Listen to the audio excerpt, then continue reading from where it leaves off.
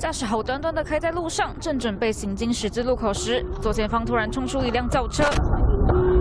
驾驶连按两声喇叭，往右一闪，虽然躲过了冲出来的轿车，却撞上停在路旁的一堆车。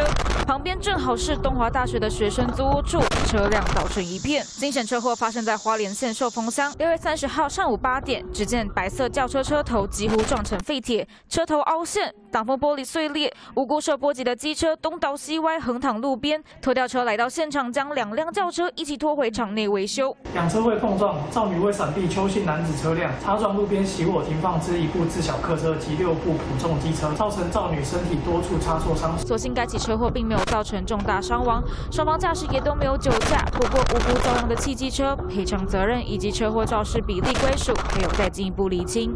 记者刘吉佳、郭宇轩、花莲综合报道。选，主播工作对我来说是一秒都不能松懈的战场。张撼动社会大众关心的议题清楚传达出来，更要求自己先是一名认真的记者，才是对观众负责的主播。更多新闻请锁定中视 YouTube 频道，记得按赞、订阅、分享，并开启小铃铛哦。